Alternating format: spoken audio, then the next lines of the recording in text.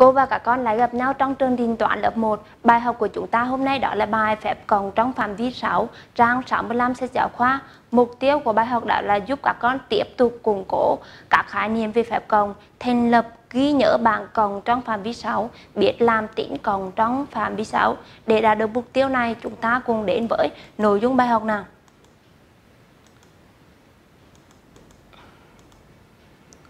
Đầu tiên cô có là tổng cộng trên này là có cả con cùng đếm với cô nào? 1, 2, 3, 4, 5 như vậy tổng cộng cô có 5 hình tam giác.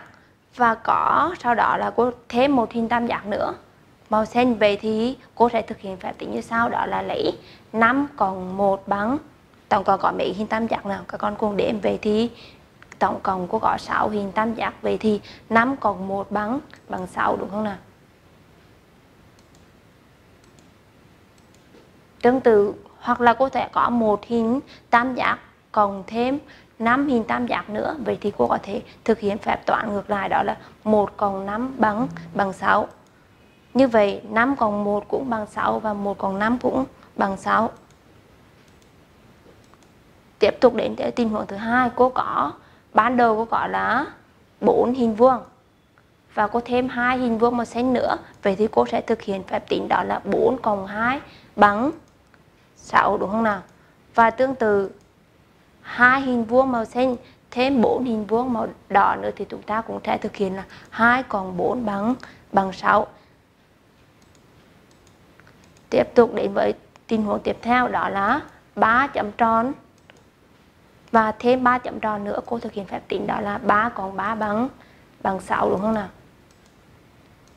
Hoặc là 3 còn 3 ngược lại cũng như nhau, cũng bằng 6.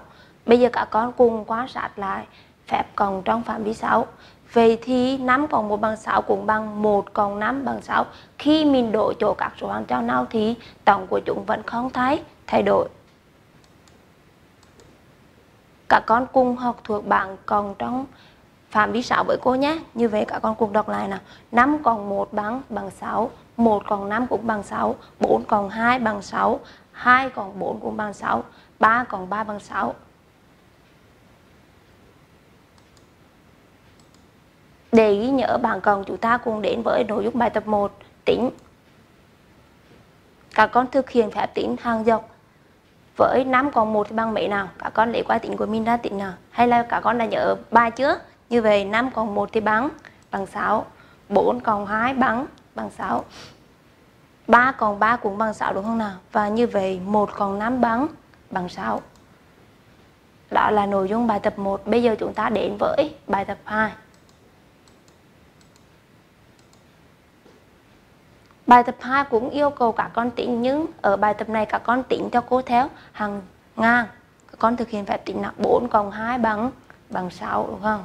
2 cộng 4 bằng mấy nào? Như vậy cũng tương tự ở trên thôi đúng không? 2 cộng 4 bằng bằng 6. 5 cộng 1 bằng bằng 6. 1 cộng 5 cũng bằng 6. 5 cộng 0 thì bằng bằng mấy nào? Như vậy 5 cộng 0 bằng bằng 5 đúng không? Và 0 cộng 5 thì ngược lại thôi, cũng bằng bằng 5.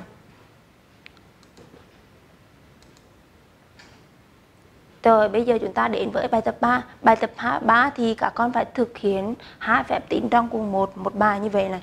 Bài đầu tiên này 4 còn 1 còn 1. Vậy thì các con thực hiện phép tính đó là 4 còn 1 bằng bằng 5. Sau đó mới lấy 5 cộng thêm 1 nữa. Vậy thì kết quả ra bằng mấy nào? Như vậy là bằng 6 đúng không nào? Các con cùng quan sát lại thực hiện phép tính. Mình lấy 4 còn 1 bằng bao nhiêu đã? Sau đó mình mới lấy kết quả đó cộng thêm 1 nữa. Vậy thì bằng 6. Tương tự ở bài tiếp theo, 3 cộng 2 bằng 5, 5 cộng 1 bằng 6. Hoặc là bài kia, ở bên kia 5 cộng 1 thì bằng bằng 6, 6 cộng 0 thì bằng bằng 6.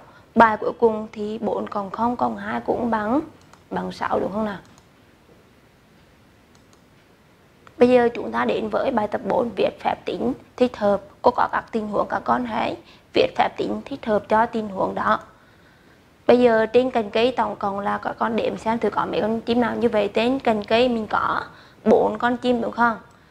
Và bên này thì có hai con chim. Vậy thì chuyện gì xảy ra đối với hai con chim này? Các con cùng quan sát. Như vậy hai con chim này cùng bay đến đầu vào cái cành cây mà bốn con chim này đang đầu vậy thì bay tới đầu vào ở cành cây thì chúng ta sẽ thực hiện phép phép con đúng không nào? Như vậy chúng ta lấy bốn còn hai bằng bằng sáu, đúng không? Hoặc có thể ngược lại 2 còn 4 bằng 6 cũng được. Chúng ta chỉ thay đổi vị trí các số hàng thôi. Bây giờ đến tình huống B. Cô có, ban đầu cô có là ba chiếc xe hơi này.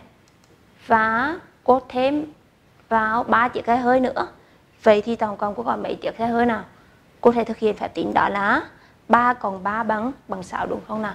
Như vậy tổng cộng cô có 6 chiếc xe hơi các con cùng quan sát lại tình huống B như vậy tiết học của chúng ta hôm nay đến đây là kết thúc rồi. Các con nhớ xem lại các bài tập đã làm, chuẩn bị cho cô sách toán lớp 1 vở bài tập toán để học bài phép trừ trong phạm vi 6 và mở sách đến từ Acbook ra để củng cố thêm nội dung về bài học của mình. Bài 44 phép cộng trong phạm vi 6, bài tập 1. 1. Tính. Để làm được bài tập các em bấm vào nút hướng dẫn làm bài. Em hãy dùng que tính để thực hiện phép tính. Em hãy nhập kết quả vào chỗ trống. Sau khi làm nghe thực hiện phép tính các em tắt đi và bấm vào nút học sinh làm bài. Các em thực hiện phép tính theo cột dọc 5 cộng 4 thì 1 thì bằng 6 các em ghi 6 4 cộng 2 cũng bằng 6 các em ghi 6 3 cộng 3 bằng bằng 6 đúng không nào? 2 cộng 4 bằng 6 1 cộng 5 cũng bằng 6 0 cộng 6 cũng bằng 6 khi làm xong các em nhớ bấm vào nút kiểm tra.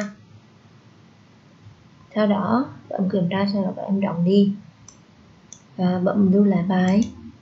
Bạn đã lưu thành công là ok thì về các em bấm vào bài tập 2 2. Tính. bài tập 2 yêu cầu các em tính các em bấm vào nút trong sinh làm bài.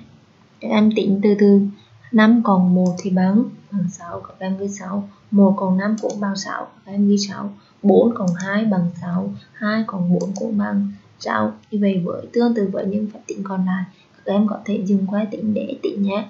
Bây giờ chúng ta đến với bài tập 3 3. Tính. bài tập 3 yêu cầu các em tính. Các em bấm vào nút học sinh làm bài. Các em tính từ từ. 1 cộng 4 cộng 1 thì bây giờ các em tính. 1 cộng 4 thì bằng bao nhiêu? Sau đó cộng thêm 1 nữa.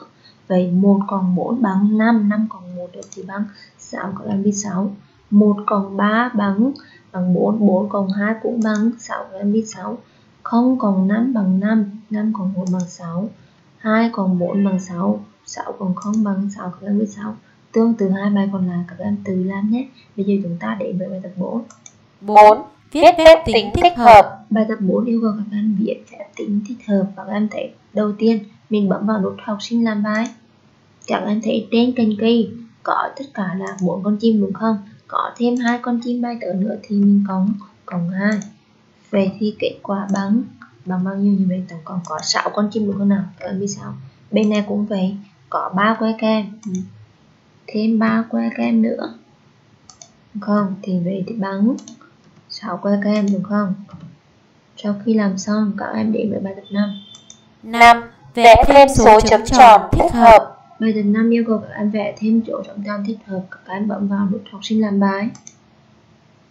Bây giờ 4 bên này 4 chấm tròn này, cộng thêm 2 đúng không? Vậy thì mình kéo thêm 2 vào. Đúng không?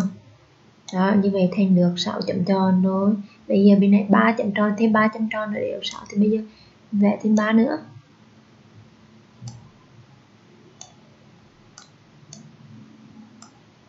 Rồi như vậy là chúng ta được 6 chấm tròn đúng không nào? Sau khi làm xong, các em nhớ bấm vào nút kiểm tra và lưu lại bài. Như vậy là được. Bây giờ chúng ta sẽ thoát khỏi bài. Các em nhớ bấm vào nút kiểm tra và lưu lại bài nhé.